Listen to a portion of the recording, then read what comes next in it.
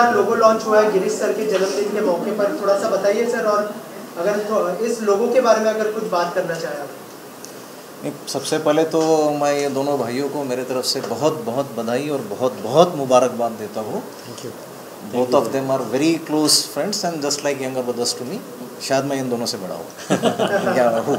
Exact So, my hearty congratulations to both of them for entering into a new venture, into new initiative.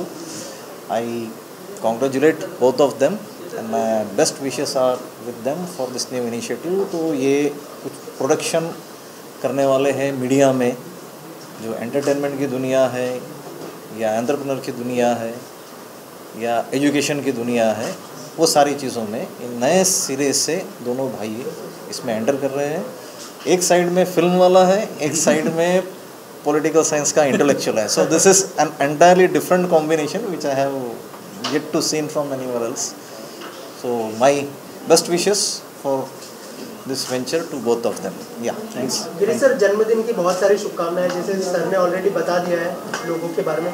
थोड़ा सा बताइए कि कब ये थॉट आया कि इसमें भी शुरू करना चाहिए हमें प्रोडक्शन भी। थैंक यू वेरी मच सबसे पहले आप सभी लोगों का धन्यवाद जो बर्थडे के दिन इतने सारी तादाद में यहाँ आए हैं। मैं आपको बता दूँ कि एक तो मेरी पहली कंपनी थी एन टी वन एंटरटेनमेंट जिसमें फ़िल्मों को डिस्ट्रीब्यूट करते थे और मार्केट करते थे। उसके अलावा एक कंपनी हमारी लोकुत्तरा प्रोडक्शंस जिसके साथ हमारा Jai Bhim short video app launch हुआ है, जो दिन दूनी रात चौगुनी प्रगति कर रहा है। सारे लोगों की ज़ुबान में हमारा ऐप है और वो ऐप भी सक्सेसफुल रहा है। अब ये जो हमारी तीसरी कंपनी है जिसमें हम दोनों भाइयों ने मिल मिलके शुरू की है हरीश वानखेड़े गिरीश वानखेड़े। मैं अ, इसका नाम वानखेड़े ब्रदर्स इसलिए रख रहा हूँ कि हम दोनों वानखेड़े ब्रदर्स हैं। और इसमें हम फ़िल्मों को प्रोडक्शन करेंगे वेब सीरीज़ क्रिएट करेंगे और साथ ही साथ वो कंटेंट क्रिएट करेंगे जो कमर्शियली ओटीटी पे भी हो या थिएट्रिकल भी हो। अरे सर आप क्या कहना चाहेंगे? मैं राइट लेकिन जैसे गिरीश कह रहे थे कि इतना बड़ा ये स्पेस है और इस स्पेस में इतनी सारी नई इनोवेटिव चीज़ें हो रही है तो सिनेमा ऑफकोर्स हम दोनों का पैशन रहा है बचपन से। तो इस फ़ील्ड में जिस तरह से गिरीश ने इससे पहले डिस्ट्रीब्यूशन और मार्केटिंग की है वही एक इनलार्ज करेंगे प्रोडक्शन में आएँगे अपनी खुद की फ़िल्में करेंगे खुद के वेब सीरीज़ करेंगे। तो मेरा बहुत एक्साइटमेंट है और गिरीश के साथ जुड़ने से ज़्यादा अच्छा और कुछ हो नहीं सकता। थैंक यू गिरीश सर कौन से कौन से प्रोजेक्ट लाइंड अप है? अगर उस बारे में कुछ शेयर करना चाहिए इस वक्त मैं बहुत सारी चीज़ें रिवील नहीं कर सकता हूँ लेकिन इतना ज़रूर है कि जो प्रोजेक्ट्स हम लोग लेकर आ रहे हैं उसमें वो प्रोजेक्ट्स रहेंगे जो अ, जो अंबेडकर फिलोसॉफी को प्रमोट करती है। ऐसे प्रोजेक्ट्स की तरफ़ हम ध्यान देने वाले हैं। एक ऐसी कहानी को हम लेकर आ रहे हैं जो एक बॉक्सर की कहानी है। तो इस तरीके की कहानी है जो कास्ट कॉन्फ्लिक्ट और कास्ट कॉन्फ्लिक्ट को लेकर चलें इस तरीके की सोशली रिलेवेंट फ़िल्में हम बनाएँगे। हम उन फ़िल्मों को बनाएँगे जिन फ़िल्मों में हम अम्बेडकरवादी फिलोसॉफी को लेकर आ सके, जहाँ पर हम बुद्धिज़्म को प्रमोट कर सकें सर, इसके अलावा इन दिनों जो सिनेमा का दौर चल रहा है, वो तो आपको पता ही होगा, क्योंकि आप ट्रेड को लेकर भी बहुत जानकारी रखते हैं। तो उस चीज़ को लेकर कितना ध्यान रखने वाले हैं कि ऑडियंस तक ये फ़िल्म पहुँचे? उनको ये पसंद आए और स्पेशली कंटेंट ऑडियंस को पसंद आए क्योंकि अभी जो ऑडियंस सिर्फ़ कंटेंट वाला सिनेमा पसंद कर रही है। एग्जैक्टली exactly, देखिए कंटेंट की समझ है मुझे और मुझे हमेशा ये लगता है कि एक ईमानदारी का कंटेंट जो कि दर्शकों तक रिलेट हो जाए ऐसे कंटेंट को अगर आप प्रोड्यूस करते हो तो उसको एक्सेप्टेबिलिटी रहेगी।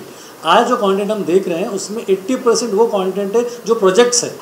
जो बेसिकली फ़िल्म में नहीं होती प्रोजेक्ट बनाए जाते हैं पहले स्टार को साइन किया जाता है और बाद में स्क्रिप्ट लिखी जाती है। हम वो नहीं करने वाले हम इस वक्त कम से कम डेढ़ से दो साल सिर्फ़ स्क्रिप्ट पर ही काम कर रहे हैं। जब स्क्रिप्ट के ऊपर हमको कॉन्फिडेंस आएगा उसके बाद ही हम पूरी तरीके से प्रोडक्शन में एंट्री लेंगे।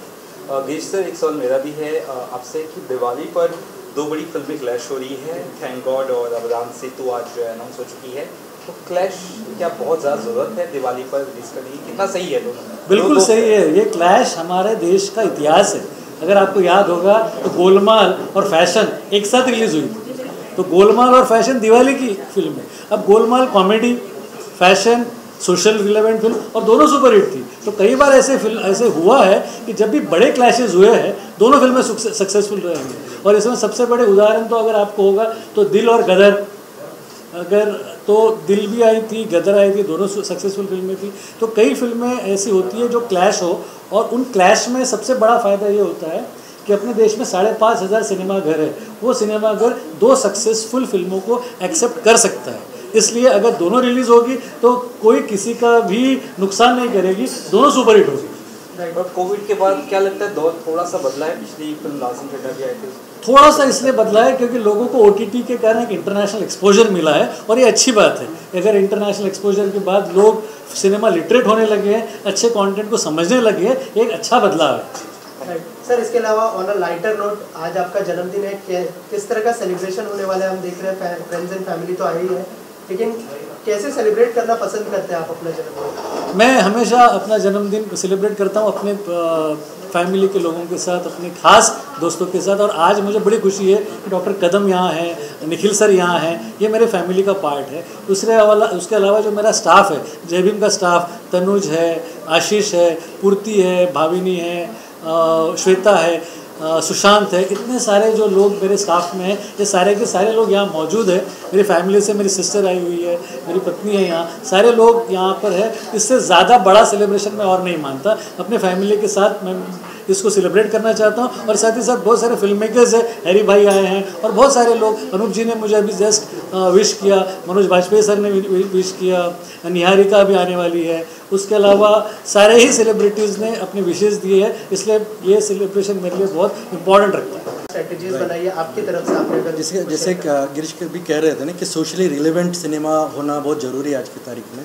तो वो जो सोशल रिलेवेंट कंसेप्ट है जो आइडियाज़ है वो इन जनरल एकेडमिक से आते हैं लिटरेचर से आते हैं तो उसका जो रिसर्च है जैसे गिरीश कह रहे थे कि दो साल हम लोग सिर्फ़ स्क्रिप्ट पे काम करेंगे तो स्क्रिप्ट पे, पे काम करना आइडियाज़ को इलोबरेट करना और उसको अच्छे एक्सचेंज में देखना ये जो काम है उसका बहुत बड़ा भा, भा, भागीदारी मेरे पर रहेगी ज़िम्मेदारी मेरे पर रहेगी और वो एक बेसिकली अभी तक का वो काम हम लोगों ने सॉर्ट आउट किया सर लास्टली क्या मैसेज देना चाहेंगे जो बर्थडे विशेष आपको आई है और हमारे थ्रू क्या क्या कहना चाहेंगे उनको मैं सारे लोगों की तहे दिल से शुक्रिया अदा करता हूँ जिन्होंने मुझे विशेष दिए हैं।